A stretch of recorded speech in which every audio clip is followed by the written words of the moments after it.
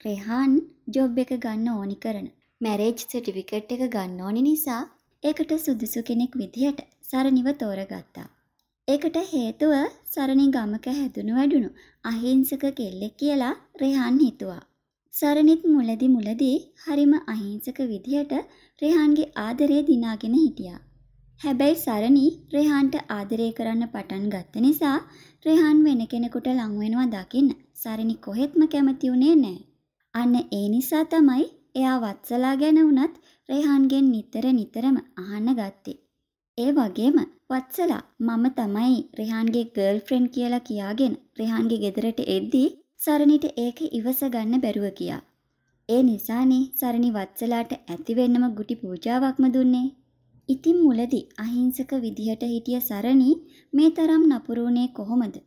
මෙයා මේ කරන්නේ රඟපෑමක්ද? සරණි කියන්නේ ගමක හැදුණු කෙල්ලෙක් නෙමෙයිද?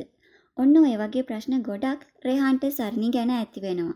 ඉතින් රෙහාන්ට සරණි ගැන ඇති වෙන මේ සැකය නිසාම රෙහාන් සරණි ගැන හොයන්න පටන් ගන්නවා. ඉතින් රෙහාන් සරණි ගැන ඇත්ත දැනගත්තොත් එදාට මොන වගේ තීරණයක් ගනීද?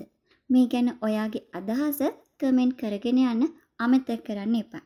ඒ වගේම ඔයා චන්දි channel එකට අලුත් යාළුවෙක් නම් මාව subscribe කරගෙන යන්න කියලත් ආදරෙන් මතක් කරනවා.